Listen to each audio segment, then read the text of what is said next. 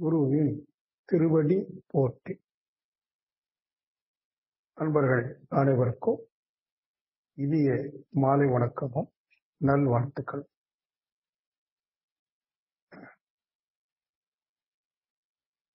மிக்க மகிழ்ச்சியாக இருக்கு எனக்கு.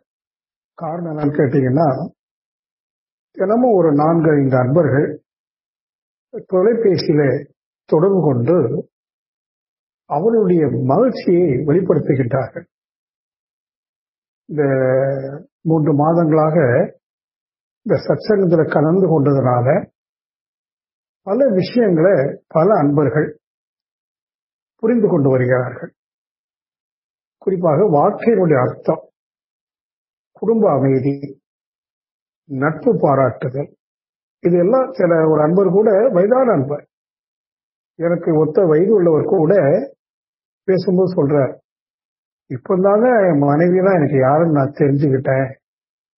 இப்ப நான் என் மனைவி எல்லா பணிவிடையும் செய்யறேன்னு அவரு அவருடைய மகிழ்ச்சியை வெளிப்படுத்திட்டு இதோ என் மனைவி நீங்க கொஞ்சம் பேசுங்கன்னு கூட போனை கொடு.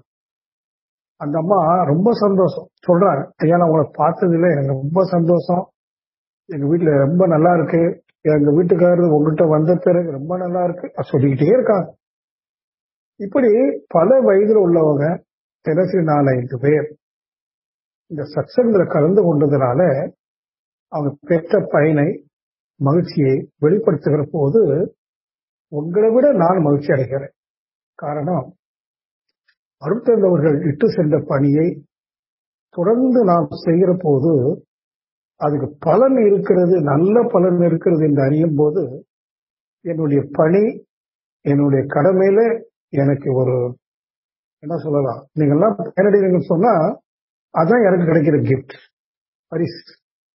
அதை நினைச்சு நான் ரொம்ப சந்தோஷப்பட்டேன். இவங்க ஐயா சுக்கலிங்கம் ஐயா இப்ப கூட வாய்ஸ் கால்ல கொடுத்தார்.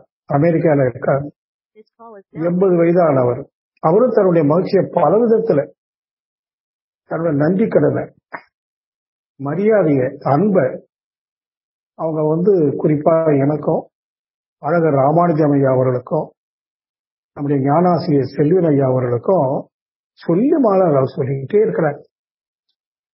அப்ப இதெல்லாம் எனக்கு மேலும் ஒரு உற்சாகத்தை என்ன கொடுக்குன்னா நம்ம இன்னும் ஓய்வு எடுக்காம அல்லது எந்த அளவுக்கு ஓய்வு கிடைக்குதோ நேரம் கிடைக்குதோ இந்த பணியை தொடர்ந்து செய்யணும் அப்படிங்கிற ஒரு ஆர்வம் மேலும் மேலும் எனக்கு ஏற்படுது.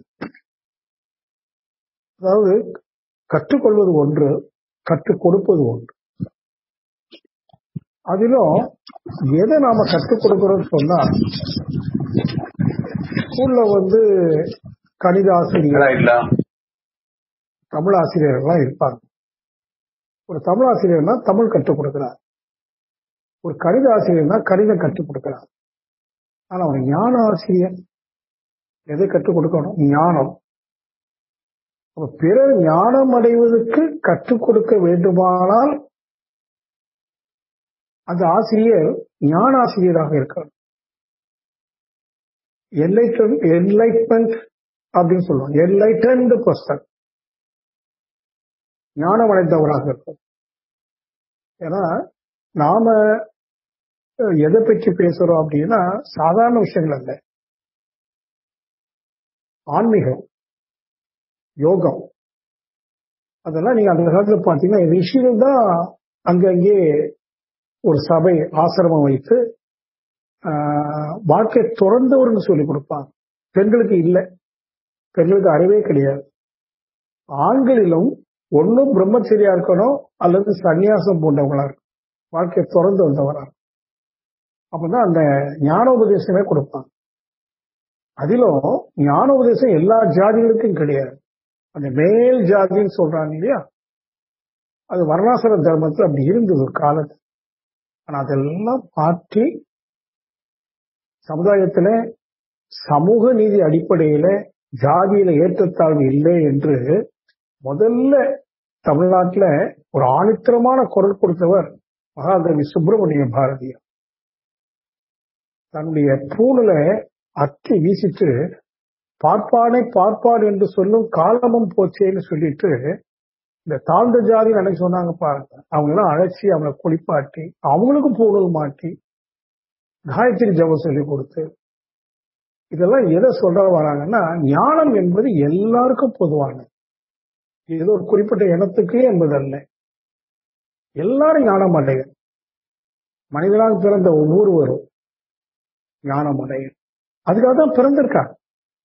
பரிணாம வளர்ச்சியில படிப்படியாக இறுதியாக மனிதன் வந்திருக்கிறான் என்று சொன்னா மனிதனுடைய அறிவு எதற்கு என்று சொன்னால் அந்த ஞானம்.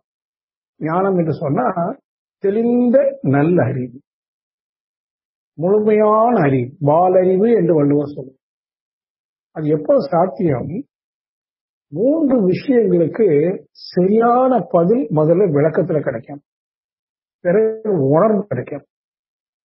மூன்று எது தெய்வம் என்பது முதலில் கேள்வி. நான் சென்ற வாரம் கூட நான் சொன்னது இறைவனின் பேரால தான் இன்னைக்கு உலகம் முழுவதும் சமாதானத்தை இழந்து நிற்கிறான் மனிதன். ஏனென்றால் அந்த ஆன்மீகத்துல யார் ஆன்மீகத்தை கையில் எடுத்திருக்கார் அப்படின்னா மதவாதிகள் மத போதகர்கள். அவங்க மனசுல அரசியல் தனமும் வியாபாரத்தனமும் பெருகிறதுனால அந்த ஆன்மீகத்தினுடைய அந்த உள்ளார்ந்த சாரம் அதை வெளியில கொடுக்கவே ஓ அதை உணர்ந்து கொடுக்கணும் அப்படின்னா அந்த மூன்று கேள்வி. எது தெய்வம் அது நல்ல விளக்கம் கொடுக்கும் எவ்வாறு இந்த உலகம் தோன்றிட்டு? எது நான் மூணு தத்துவ ரீதியான கேள்விக்கு நாம் ஒவ்வொருவரும் விடை காணும் ஏதோ பிறந்தோம் வாழ்ந்தோம் அப்படியே எப்படி எப்படியோ வாழ்ந்துட்டோம் செத்துட்டோம் அப்படின்னா அந்த பிறப்பு வீரான பிறப்பு. இந்த பிறப்பு பயனுடைய பிறப்பு அப்படின்னு சொன்னா இந்த மூணு கேள்விக்கும் நாம் ஒவ்வொருவரும் உடைய காணும் எப்படி காண்பது? அப்படிங்கிற போது ஏற்கனவே விடை கண்டவரை ஒரு மகானை முதல்ல குருவாக ஏற்றுக்கொள்ளும் எப்படி ஏற்றுக்கொள்ளணும்? அவர் மீது மரியாதை செலுத்தி பக்தி செலுத்தி உள்ளன்போடு அவரோட சரணாகதி அடைந்து. குருதான் எல்லாம். குரு தான் நமக்கு எல்லாம். ஏன்னா அவரால் தான் காட்ட முடியும்.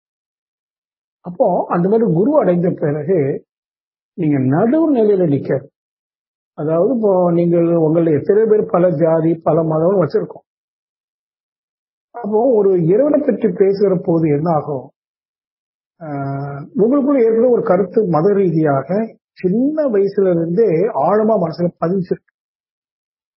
அப்ப என்ன சில நேரத்துல அந்த உண்மையான இறைவனை பற்றி விளக்க சொல்லும் போது உங்கள சிலருக்கு அது கசப்பாக இருக்கும். என்ன இவங்க நாத்தியம் பேசுறாங்களா? உங்களுக்கு ஒரு விவாதம் ஏற்படும். நான் என்ன சொல்லுவேன் இருக்கட்டும். உங்களுடைய கருத்தை நான் தப்புன்னு சொல்லல. கொஞ்ச நாள் அப்படி ஒதுக்கி வச்சுட்டு. இப்ப இவங்க சொல்லக்கூடிய கருத்துல எந்த அளவுக்கு பொருள் இருக்கு. அப்படி நடுநிலையில இருந்து திறந்த மனதோடு இருந்தீங்கன்னாக்கா முதல்ல அந்த கருத்தை நீங்க முழுமையா உள்ள வாங்க முடியும். சரியோ தப்போ. உள்ள வாங்க முடியும். வாங்கின பிறகு நீங்க அதை சிந்திக்க சிந்திக்க சிந்திக்க தான் இந்த சில உண்மைகள் உங்க அறிவுக்கு ஏன்னா இந்த ஞான மார்க்கம் என்பது நம்பிக்கையின் அடிப்படையில் அல்ல. பக்தி மார்க்கம் அப்படி இல்லை. பக்தி மார்க்கம் சொன்னாலே அப்படியே நம்பிடுது. விசுவாசம் என்று சொல்லுவாங்க மத போதகர் என்ன சொல்றாரோ அவங்கள்ட்ட ஆர்கியூமெண்டே பண்ணக்கூடாது. அப்படியே கண்மூடித்தனமா ஏற்றுக்கொண்டு வாழும். ஆனா ஞான மார்க்கத்துல நம்பிக்கைக்கு இடம் இல்லை. சொல்லால் மட்டும் நம்பாதே சுயமாய் சிந்தித்தே தெளிவாய் நீ எப்போ ஒரு விஷயத்த கண்ணை மூடிக்க நம்பிக்கைகளோ அப்பவே நீங்க சிந்திக்க மறுக்கிறீங்கன்னு அர்த்தம். நம்ம சிந்திக்காத வாக்கு எப்படி இருக்கும்? சிறப்பாக இருக்கும். ஒருவேளை பணக்காரனா இருக்கலாம். அவன் அரசியல் பற்றி சிந்திச்சிருப்பாங்க வியாபாரத்தை பற்றி சிந்திச்சிருப்பாங்க கோடிக்கணக்கில் சம்பாதிச்சிருப்பாங்க.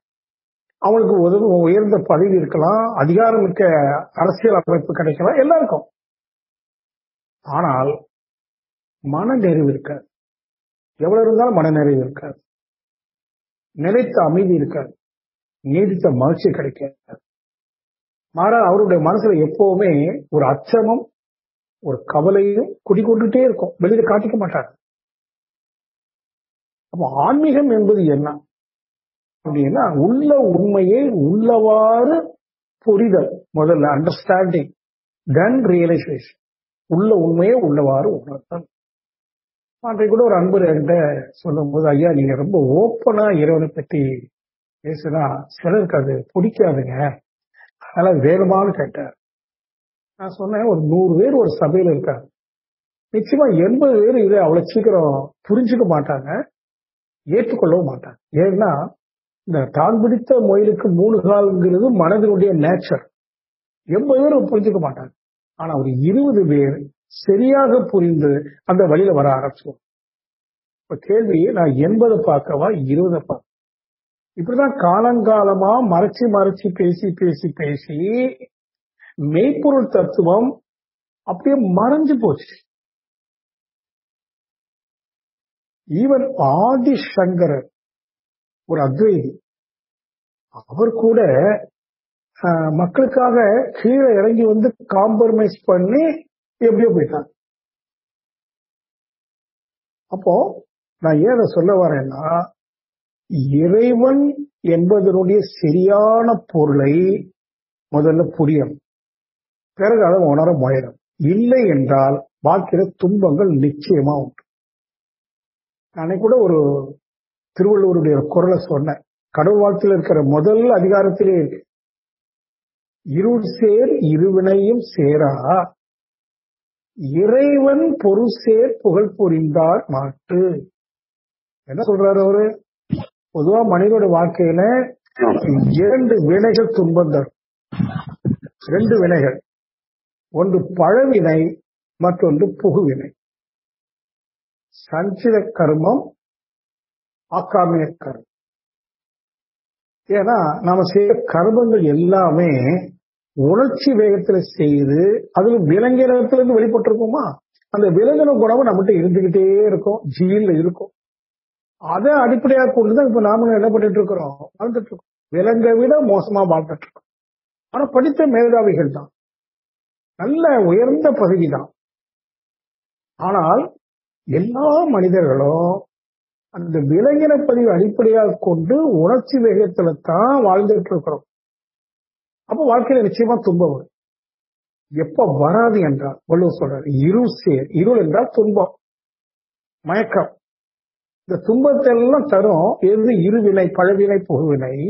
எப்ப தராது என்றால் அவர் ஒரு நிபந்தனை சொல்றாரு. இறைவன் பொருள் சேர். கடவுள் வாழ்த்துல சொல்றார். இறைவன் பொருள் சேர் புகழ் புரிந்தார் மாட்டு.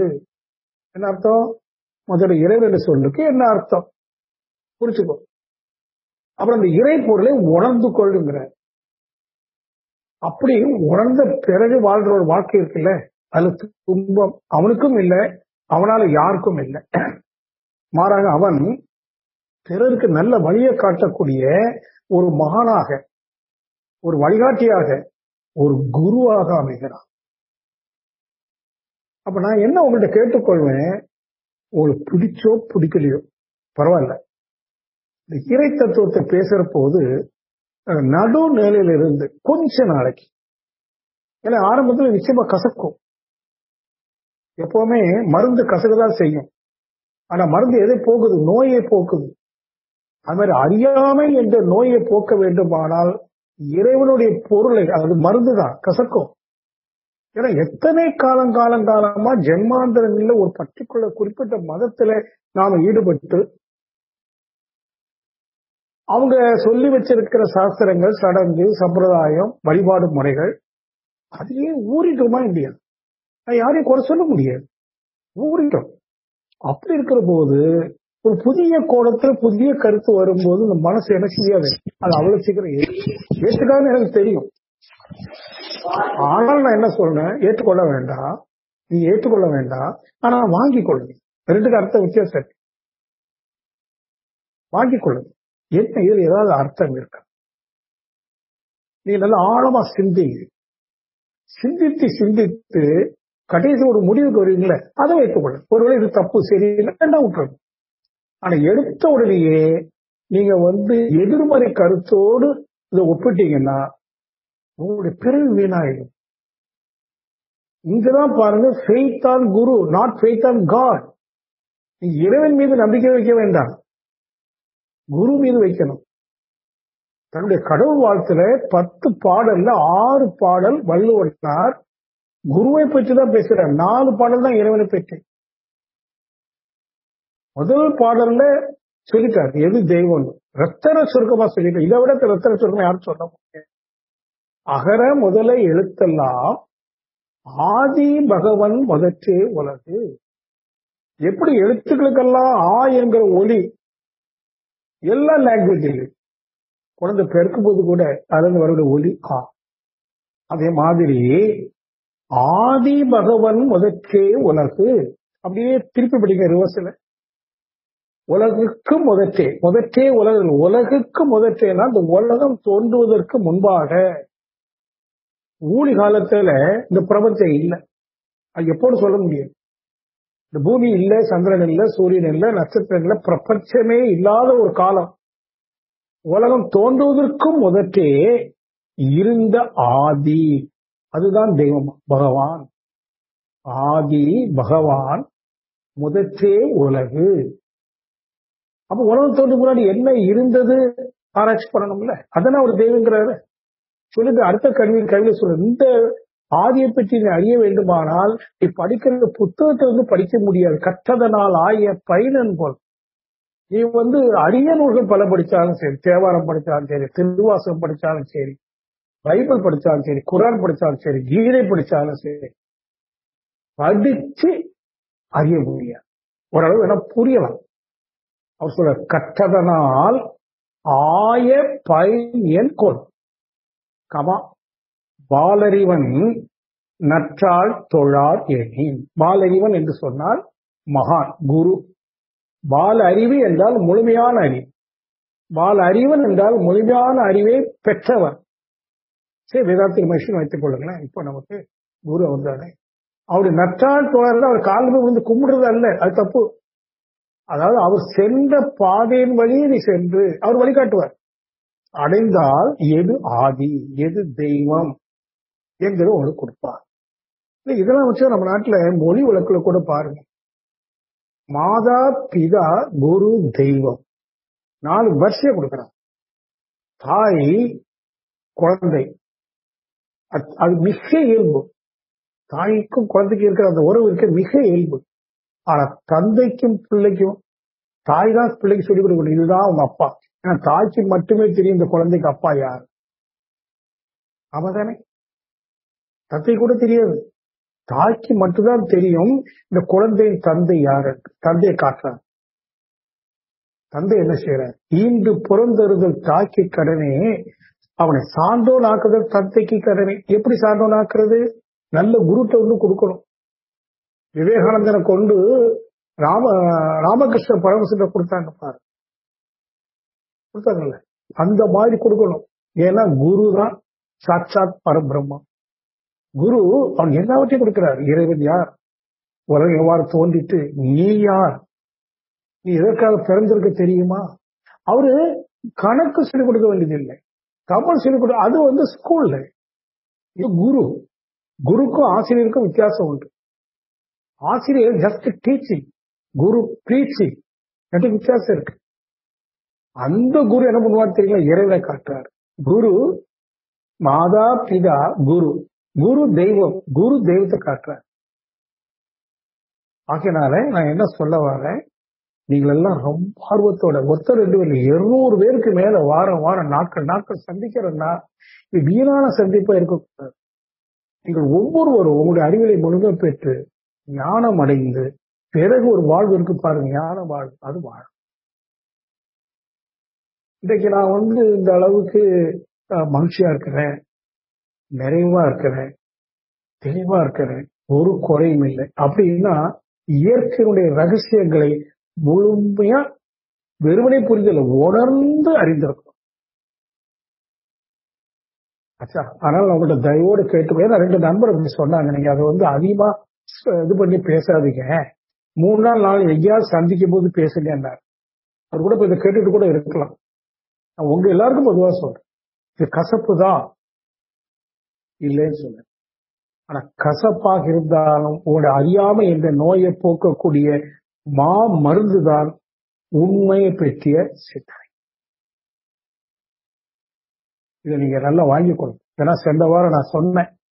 நம்ம நிறைய விஷயங்கள் வாக்குத்தத்தில் அப்பப்போ பேசிக்கிட்டே வரோம். நிறைய அனுபவம் ஃபீட்பேக்ல இல்ல சார் இப்போ நான் என் சண்டைக்கு போறது இல்லை. அவங்க கவனிச்சுக்கிறேன். வாக்கியம் என்னன்னு தெரிஞ்சுக்கிட்டேன் அப்படின்னு சொல்லியாச்சு இப்போ உங்களுக்கு பக்கம் வந்துருச்சு. என்ன பக்கமோ முதல்ல என் மீது ஒரு உங்க எல்லாருக்கும் ஏன்னா பலர் சொல்றீங்களே ஒரு ரெஸ்பெக்ட் வந்திருக்கு. அன்பு வந்திருக்கு. வந்துருக்குல. மரியாதையும் வந்திருக்கு அன்பு வந்திருக்கு. என்ன தினசரி வாழ்த்துறீங்க.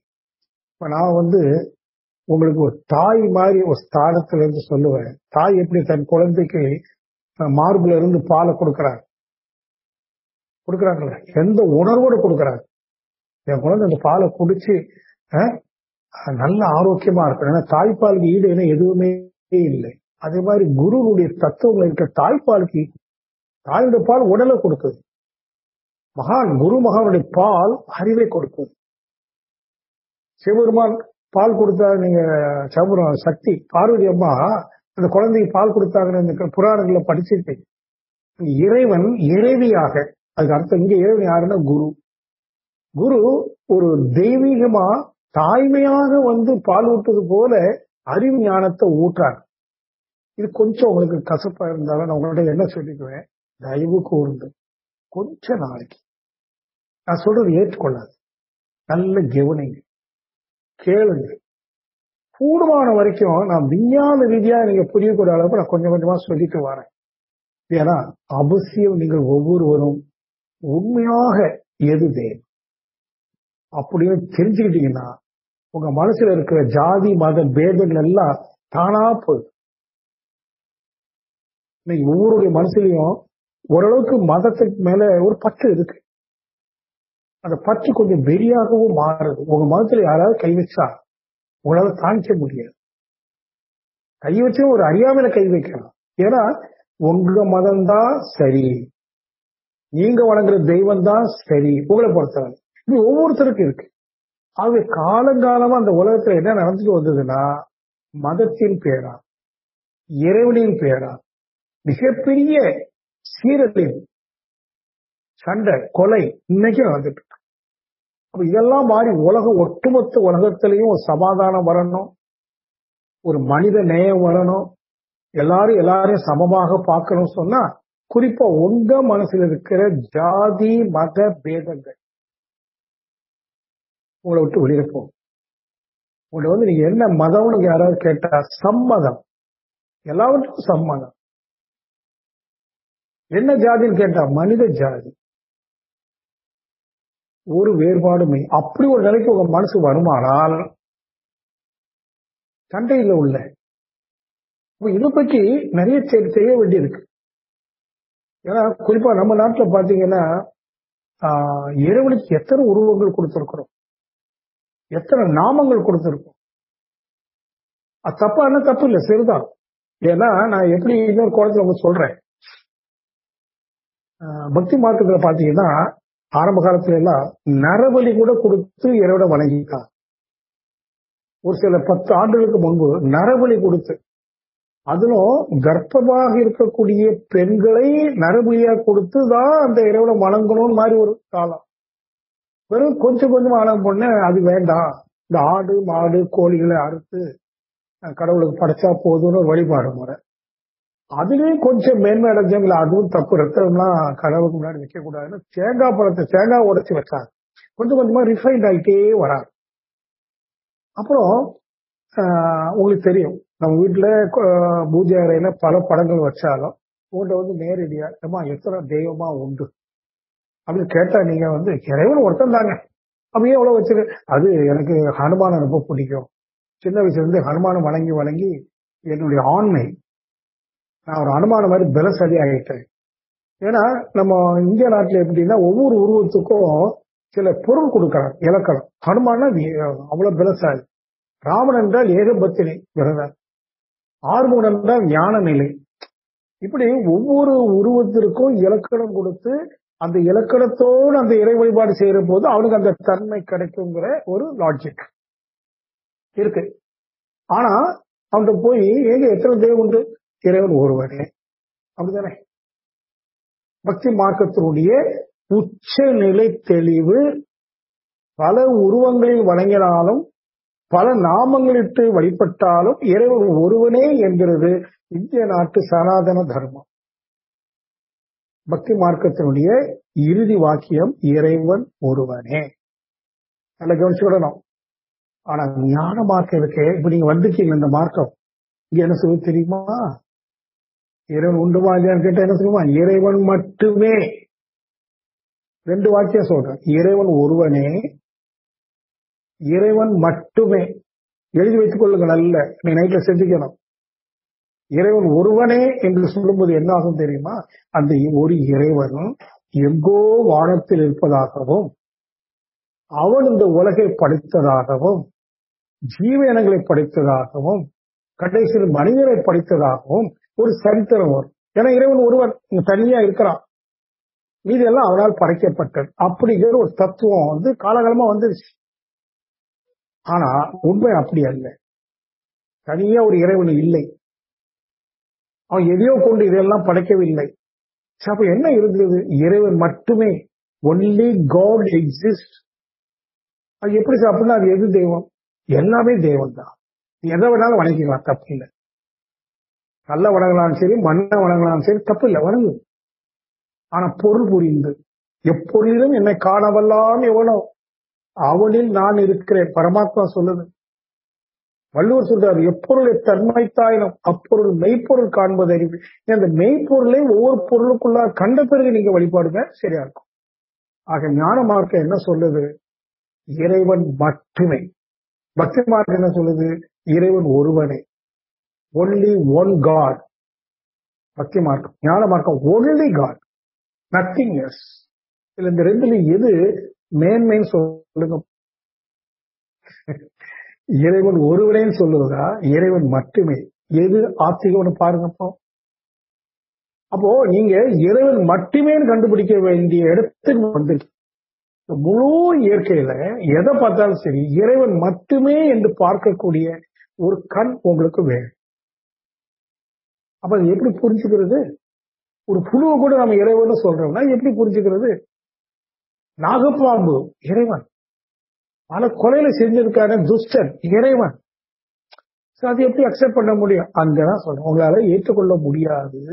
ஆனால் நீங்க புரியும்படிக்கு அருள் பேராற்றோட கருணையோடும் ஆசானுடைய அருளோடும் என் அறிவுக்கு எட்டிய வகையில நான் கொஞ்சம் கொஞ்சமா சொல்லிட்டு வரேன். வர்ணனையில இருந்து கொஞ்சம் கொஞ்சமா சொல்லிட்டு வரேன். நீங்க என்ன பண்ணணும்? உங்களுடைய டியூட்டி என்னன்னா நடுநிலையில இருந்து இவர் என்ன சொல்றார்? கொஞ்சம் சிந்திச்சு பார்ப்போமே. கண்ணை முடிந்து வச்சு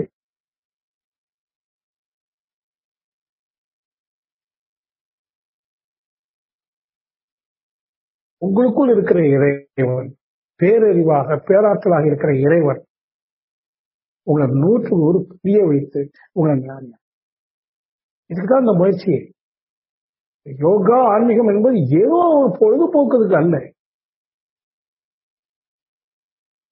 ஆன்மீகம் என்பது ஆன்மாவை பற்றிய அறிவு. ஆன்மானா என்ன?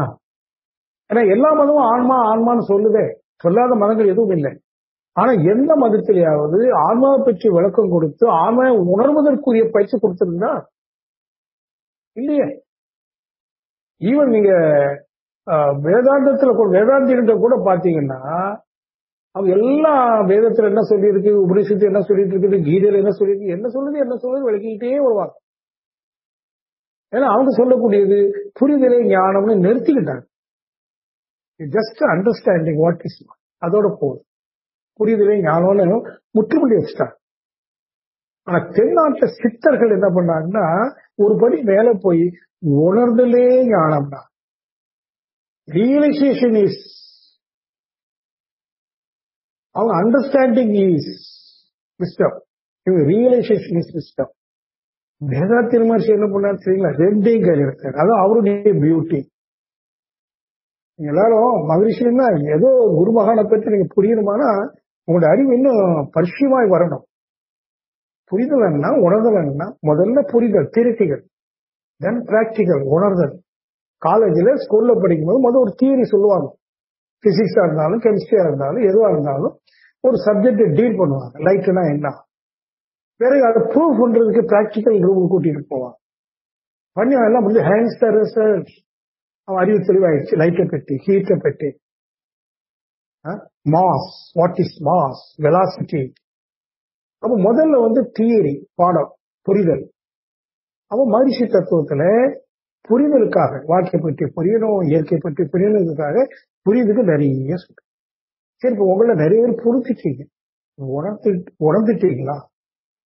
மகிழ்ச்சி. எத்தனை பேருக்கும் பிரம்மஞானி சான்றிதழ் கொடுத்துருக்காங்க? இன்னைக்கு கொடுத்துட்டு இருக்கோமே ஆனால் அது நீங்க உங்களுக்கு விளக்கி சொல்லியிருக்காங்க. நீங்க விளக்கிட்டீங்கன்னு ஒரு நம்பிக்கையில கொடுத்துருக்கு ஆனா முழுமையா விளங்கிட்டீங்களா அடுத்த கட்டமா போய் உடஞ்சிட்டீங்களா இது வந்து அவ்வளவு ஒரு பெரிய விஷயம். நான் உங்களுக்கு என்ன சொல்லுவேன்? அதுல வந்து உங்களுக்கு எல்லாருக்கும் விவேக புத்தியும் இருக்கணும் வைராக்கியமா இருக்கும் ஏன் விவேக புத்தியும் சொன்னோம்?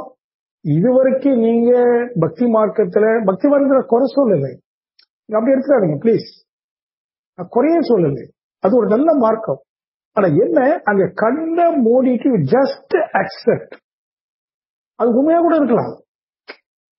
அதான் பக்தி மார்க்கம் பொய்யே இல்லை. அவங்க உண்மையதான் சொல்றாங்க. திருவாசகத்துல அழகா உண்மை அப்படி சொல்லி வச்சிருக்காங்க. சைவ சித்தாந்தத்துல சிவபுராணத்துல நாராயணியம் என்கிற தத்துவத்துல ஆண்டாள் அவ்வளவு அற்புதம் சொல்லியிருக்காங்க. உண்மைதான் சொல்லியிருக்காங்க. ஆனால் இன்னைக்கு யார் அதெல்லாம் எடுத்து படிச்சு அந்த உண்மையை புரிஞ்சவங்க எத்தனை பேர் இருப்போம்? இல்ல சும்மா ஃபேஷன் கோயிலுக்கு போக வேண்டியது தேங்காய் பழம் வாங்கி வேண்டியது முடிஞ்சா தங்கத்தேர் தேர் வேண்டியது சாமி போட வேண்டியது வர வேண்டியது. அந்த இறைவனை பற்றி நம்ம நாட்டுல திருவாசகம் என்ன சொல்லுது? தாய்மாரவர் என்ன சொல்ற யாராவது புத்தகத்தை எடுத்து படிக்கிறோமா? புரிஞ்சுக்கிட்டோமா? இல்ல தானே இல்ல. அப்ப என்ன அது வீணாயிடும். ஆனா ஞான மார்க்கத்துல அதுக்கு விளக்கம் கொடுக்கிறாங்க தாய்மான ஒரு ஞானி. அப்ப அந்த விளக்கத்தை சொல்லி நீ இறைவனை சரியா புரிஞ்சுக்கிட்டீங்கன்னா உங்க அன்றாட வாழ்க்கைக்கு அந்த இறைவனை துணை கொள்ள முடியும். உங்களுக்கு ஒரு நல்ல துணைவன் வேணுமா இல்லையா? ஏன்னா இருட்டில் போயிட்டு இருக்கிறோம் இருட்டுங்கிறது அறியாமை. இருள். இருள வாழ்ந்துட்டு இருக்கிறோம் வெளிச்சம் வேணும். வெளிச்சம் தரதுக்கு ஒரு துணைவன் வேணும். அந்த துணைவன் இறைவன். அப்ப இறை தத்துவத்தை முழுமையாக அறிந்து கொண்டீர்களானால் ஆனால் ஒவ்வொரு க்ஷணமும் உங்களுடைய வாழ்க்கை மேன்மைக்கு அந்த இறையை நீங்கள் துணையாக கொள்ள முடியும். சும்மா நம்ம எழுதும்போது இறைவனை துணை முருகன் துணை சிவன் துணை எழுதுறோம். கொண்டு வரணும் you to invoke the divine energy from the universal field பிரபஞ்சம் முழுவதும் பறந்து விரிந்து கிடக்குது. அதனால்தான் இறைவன் மகிழ்ச்சி அதான் சொன்னான் அவன் இறைந்து கிடக்கிறான். ஏன் இறைவன் பேர் வச்சாங்க தெரியுமா? அந்த பெயர் சொல் அந்த சக்தி இறைந்து கிடக்குது. சக்தியால் இறைந்து கிடக்குது திணிவு பெற்று பொருள்களாக இறைந்து கிடக்கு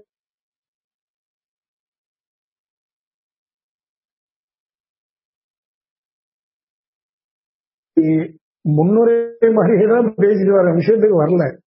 முக்கால் மணி நேரம் ஆகிப்போச்சு நீங்கள் அடுத்த வரக்கூடிய வியாழ இன்னைக்கு வியாழக்கிழமை மீண்டும் சந்திக்க போகிறோம் அடுத்த வாரம் செவ்வாய் வியாழன் எல்லா செவ்வாயோட சந்திக்கிற போது நான் கொஞ்சம் கொஞ்சமா உங்களுக்கு நான் தாய் பால் ஊட்டுவது போல அவங்கள்ட்ட உத்தரவாதம் வாங்கி உங்களுக்கு கொடுக்குறேன் நீங்க மட்டும் அந்த இறை தத்துவத்தை நல்லா புரிஞ்சு உணர வந்துட்டீங்க. நீங்க தெய்வமா மாறி. அதான் பியூட்டி அல்டிமேட் என்ன தெரியுங்களா? நீங்கள் உங்களை இறைவனாக உணரப் போகிறீர்கள். ஐயப்படாது அகத்தது உணர்வானை தெய்வத்தோடு ஒப்பக்குழல் வள்ளுவர். ஐயப்படாது. வார்த்தை பாருங்க. ஐயப்படாதுன்னு என்ன? எந்த சந்தேகமும் இல்லை. அவ்வளவு தெளிவா. ஐயப்படாது. படாதுன்னு போல படாது. நெடி. ஐயப்படாது அகத்து அது. அகம் என்றால் ஆழ்மனம். ஆழ்மனதுக்குள்ள இருக்கிற அதுன்னு தான் சொன்னார். பேர் கொடுக்கல. அந்த அதுக்கு இறைவன் கூட அவர் சொல்லலை. வேற நாமங்கள் சொல்லலை. அது ஏன்னா தட் இஸ் சீக்ரெட் உணர்ந்தவங்களுக்கு மட்டும்தான் அது தெரியும். மற்றவங்க யாருக்கும் தெரியும். அது ஐயப்படாது. யாருக்கு ஐயப்படாது குருக்கு ஐயப்படாதீங்க அவ்வளவு விளக்கம் சொல்லி தருவாங்க. ஐயப்படாது விளக்கெல்லாம் கேட்டு அகத்தது உணர்வானை. தெய்வ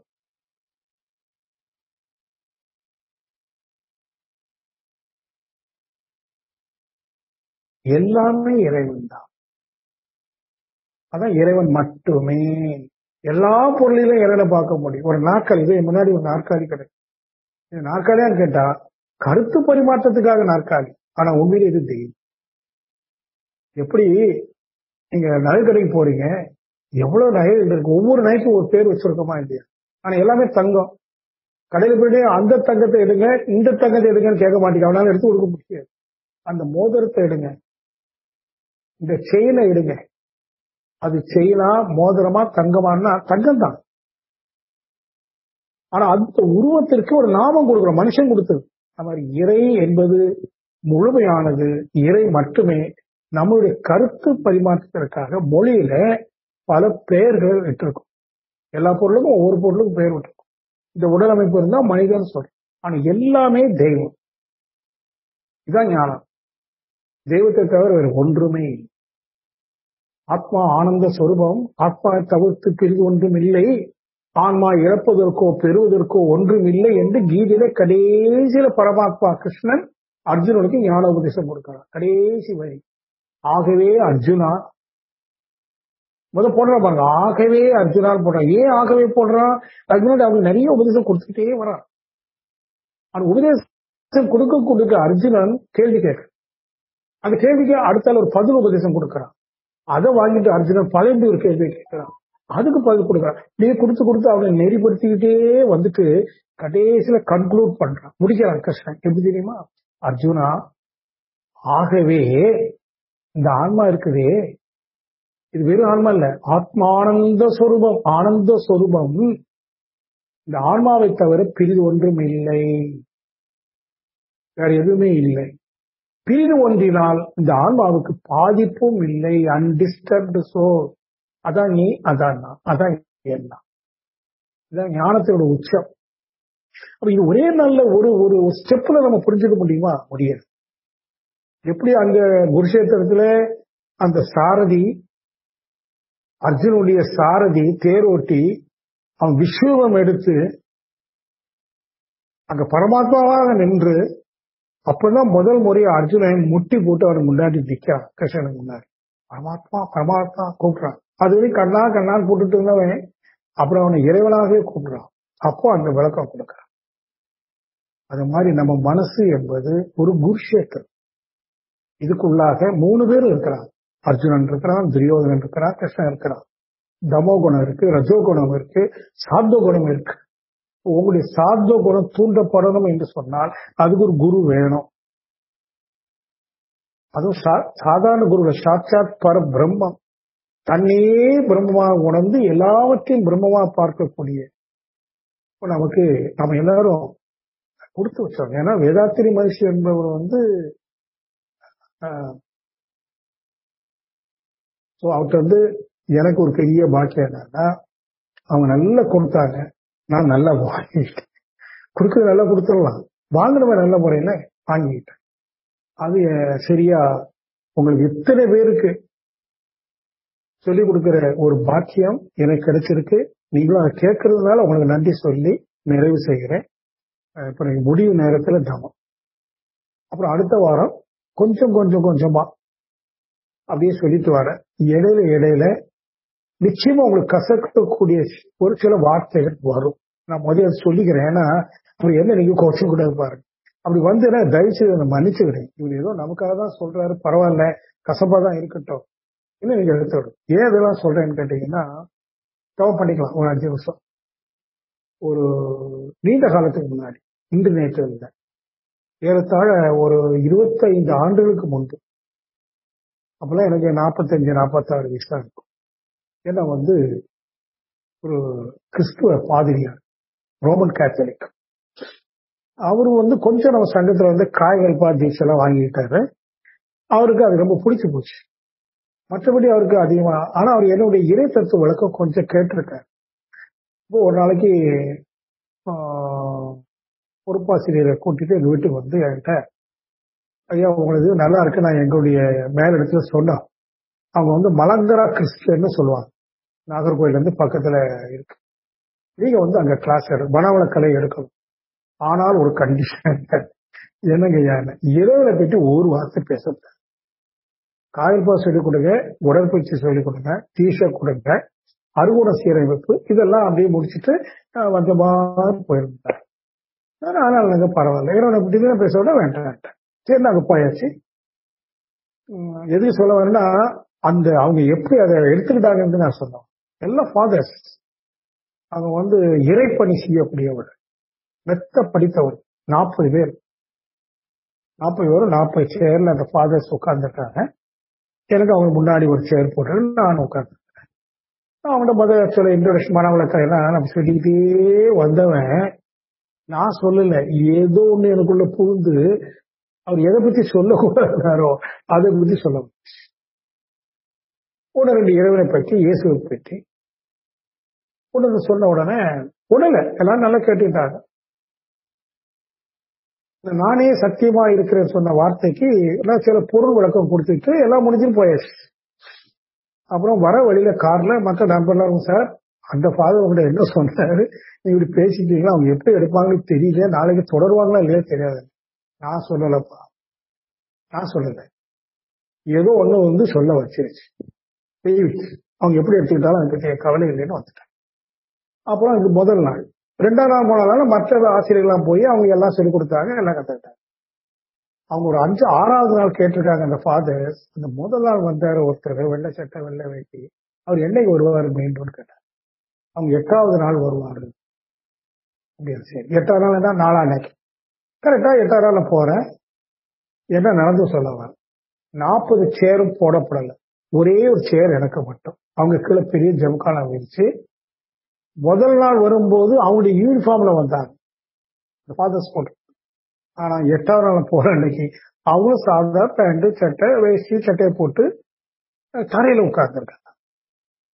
நான் போனேன் என்ன சேர்லாம் போடலீங்களான்னு இல்லை உங்களுக்கு முன்னாடி சமமாக நாற்காலியில் உட்காரக்கூடிய தகுதி எங்களுக்கு இல்லைன்னா அது ஏதோ தயவுசெய்து நான் பெருமைக்கு பேசுறேன். அப்படி இல்லை. இங்க வேதாத்திரியம் எப்படி நிக்குது பாரு. சரி உட்காரு. எல்லாம் தியானம் பண்ணி முடிச்ச உடனே எட்டாவது நாள் என்னுடைய ப்ரோக்ராம் படி என்னன்னா இறை தத்துவத்தை விளக்கணும். ஏன்னா ஒன்பதாவது நாள் துரிய திசை கொடுக்கிற நாள். பிரம்மரந்திரம் பேர். இந்த இடத்துக்கு பேரு பிரம்மரந்திரம். பிரம்மாவோடு இணையக்கூடிய இடம் இது. மனித மனமும் இறை மனமும் இணைகிற இடம் பிரம்மரந்திரம். அப்ப அதுக்கு முன்னாடி இறை தத்துவம் பேசணும் பாரு. அவனை எடுத்தோன்னு சொன்னேன். இறை தத்துவம் பேச வேண்டியது பேசுறாங்க. ஐயா அதுக்காக தான் நாங்கள் வெயிட் பண்ணிட்டு இருக்கோம். நீங்க அன்னைக்கு மூணு பைபிள் வசனத்துக்கு பொருள் சொல்லிட்டு போனீங்க. எங்களுக்கெல்லாம் ஒரே ஷாக் நீங்க சொன்னதுதான் சரியான பொருள். எல்லாம் அப்படி சொன்னான். எதுக்கு சொல்றேன்னா ஒரு ஏதோ தியானம் சொன்னா இந்து மதம் சாயம் போட்டு வச்சிருக்கு. அப்படின்னா இல்லை. தியானம் ஞானம் என்பது மதம் கிடந்தது. அவங்க அதை புரிச்சுக்கிட்டாங்க ஃபாதர்ஸ் அப்படிதான் இருந்ததுனால நான் தான் சொல்ல வரேன். எதுக்குன்னா இது அவ்வளவு உண்மையான விஷயம் அப்படின்னு. அதே மாதிரி இன்னொரு வாட்டி என்ன ஆச்சுன்னா அங்க நாகர்கோவில்ல பிஷப் சர்ச்சில் இருந்து கூப்பிட்டாங்க. பிஷப்புடைய நெக்ஸ்ட் ஸ்டேஜ்ல இருக்கிற ஃபாதர் ஆரோக்கிய சுவாமி இதுவும் அப்பதான் கிட்டத்தட்ட இருபத்தஞ்சு முப்பது வருஷம் வீடு தேடி வந்து பிஷப் உங்களை வர சொன்னாங்க. நீங்க தப்பா எடுக்கக்கூடாது பிஷப் உங்களை பார்க்க வர முடியாது அவர் அந்த ஸ்தானத்துல இருக்கிறவர். ஐயோ அதெல்லாம் பிரச்சனை நான் வரேன்.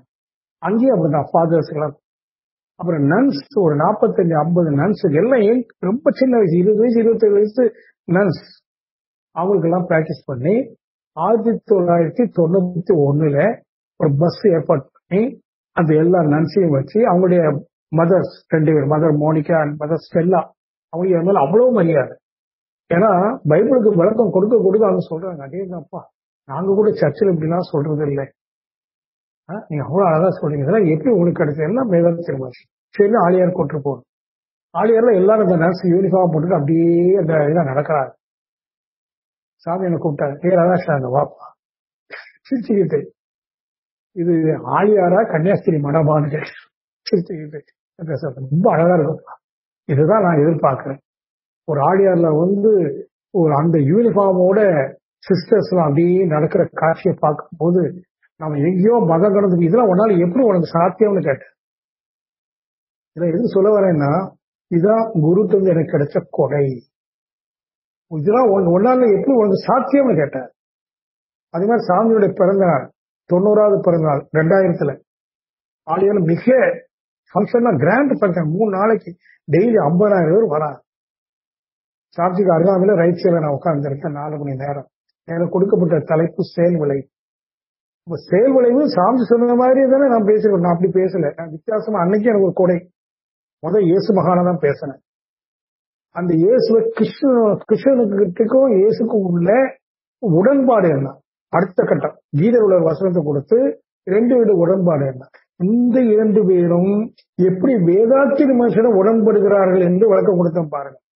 மனுஷ கிட்ட வந்து மனுஷன் போது அப்படியே தலை பெஸ்ட் எதுக்கு சொல்ல வரேன்னு தெரியுங்களா? இதுதான் குருடமிருந்து நான் அருளை பெற்றிருக்கிறேன்னு சொன்னா சும்மா தலையில கை வைக்கிறது மட்டும் அல்ல அருள். அவர் நினைச்சா அவர் உள்ள வரணும். அவரு பேசணும். அதெல்லாம் எனக்கு வந்து எங்க அப்பா அம்மா செய்த ஏதோ ஒரு நிறைய பாவம் செஞ்சிருக்கேன் ஆனா ஒரு பெரிய புண்ணியமும் செஞ்சதுனால வள்ளுவர் சொன்ன மாதிரி எனக்கு ஒரு வால் அறிவன். மலர் மிசை ஏகினான். மானடி சேர்ந்தார் நிலைமிசை நீடு வாழ்வாங்க மாதிரி இன்னைக்கு நான் உங்களை மாதிரி எத்தனை அன்பர்களை நான் வந்து எனக்கு கிடைச்சிருக்கு. ஒவ்வொருத்தரும் போன்ல பேசும்போது என்னோட வயதுல பெரியவர் அவர் சுக்கரின் ஐயா. அவர் கண்ணில் கண்ணீரோட பேசுறாரு. எனக்கு எனக்கு கூச்சமா இருக்கு. அவர் எவ்வளவு பெரிய வயசானவர் இன்னைக்கு அது மாதிரி பிச்சைன்னு ஒருத்தர் விருதுநகர். அவருக்கு என் வயசு இருக்கும். அவரும் எனக்கு என்னன்னா ஒரு பக்கம் ஷையா இருக்கு. ஆனா இன்னொரு பக்கம் நினைக்கிறேன் இத்தனை அன்பர்கள் என் மேல இவ்வளவு ரெஸ்பெக்ட் வச்சிருக்காங்கன்னா எனக்கு எவ்வளவு பெரிய பாக்கியம்? இந்த பாக்கியம் யார்கிட்ட வந்து கிடைச்சது? குரு. தெய்வம் கூட இல்ல குரு. குரு தான் தெய்வத்தை காட்டுறாரு. எது தெய்வம்? நீ தெய்வம்னு காட்டுறாரு. நீ குருன்னு காட்டுறாரு. அப்பேற்பட்ட ஒரு மகனை நான் அடைஞ்சது மாதிரி நீங்க இப்ப அடைஞ்சிருக்கீங்க. இப்போ நான் எந்த மனோநிலையில இருக்கிறேனோ யான் பெற்ற இன்பம் பெருக வையகம் சொன்ன மாதிரி நீங்க ஒவ்வொருத்தரும் வரணும். கொஞ்சம் காலம் முன்ன பின்ன இருக்கும். ஏன்னா உங்க குடும்பத்துல நிறைய சூழல் இருக்கு. நிறைய பிரச்சனையால் சூழப்பட்டிருக்கிறீங்க. நிறைய சங்கடங்களை சுமந்துட்டு இருக்கிறீங்க ஒரே நாள் இறக்கி வைக்க முடியுமா? முடியாது. கொஞ்சம் கொஞ்சமா சொல்லித்தரேன். இறக்கி வைங்க. கொஞ்சம் கொஞ்சமா இறக்கி ஆகட்டும் ஒரு வருஷம் ஆகட்டும். தப்பில்லை. இவ்வளவு வருஷம் ஆயிப்போச்சு இல்லையா? இன்னொரு வருஷம் ஆகட்டும். நிச்சயமா நீங்க அந்த இடத்துக்கு வரும்போது அன்னைக்கு இன்னும் நீங்க மகிழ்ச்சி அடைவீங்க எங்கப்பா அப்படி. இதை வச்சுதான் நம்முடைய செல்வின் ஐயா இருக்கார் இல்லையா? ஞானாசிரியர். அன்னைக்கு ஒரு குரல் கொடுத்திருந்தார். உங்களுக்கு கொஞ்சம் ஸ்ட்ரிக்டா பேசுற மாதிரி கொடுத்திருந்தார். ஏன் அவருக்கு அந்த ஆதாரம் வருது? உங்க மேல இருக்கிற அன்பு கனிவு. இப்படி இன்னாருடைய ஸ்பீச்சை கேட்காம நீங்க வெறும் தியானம் மட்டும் எடுத்துட்டு போயிட்டீங்கன்னா என்ன ஆகும்? உணர்வு பெருந்தமான புரிதல் முதல் வேணுமே. நீ வெறும் புரிதல் இல்லாம வெறும் உணர்வுக்காக முயன்றால் கிடைக்காம போயிடுவேங்கிற ஒரு ஆதாங்கம் உங்க மேல இருக்கிற அளவு கிடந்த அன்பின் நிமித்தம் ஞானாசிரியர் செல்வினையா அவர்கள் நேற்றும் இதுல வாட்ஸ்அப்ல கொடுத்திருந்தாங்க. இன்னைக்கு பேசி அதை பதிவு செய்து அனுப்பியிருந்தாங்க. ஆனா அவர் பதிவு செஞ்சதுதான் பாத்தீங்கன்னா கொஞ்சம் உங்கள்ட்ட இந்த ஸ்கூல்ல கம்பெடுத்து நிற்பாங்க வாத்தியார். அந்த மாதிரி இருக்கும். ஆனா எந்த ஆசிரியரும் கம்ப கையில எடுக்காங்க எதுக்கு? மாணவனை நண்பனைப்படுத்துவது. அவன் மீது உள்ள அன்பின் நிமித்தம் ஆக நான் முதல்ல செல்வினை அவர்களுக்கு என் நன்றி சொல்லிக் கொள்கிறேன். அவருடைய கருத்தை எல்லாரும் மகிழ்ச்சியா அன்பா ஏற்றுக்கொள்வேன்னு உங்கள்ட்ட ரொம்ப கேட்டுக்கிட்டேன் சொல்லிட்டு ஒரு பத்து நிமிஷம். அமைதி ஜபம் பண்ணிட்டு நிறைவு செய்வோம். தொடர்ந்து நல்லா பேசுவோம். வாழ்க்கை வளம் எல்லாரும் தவத்திற்கு தயாராகிக்கணும்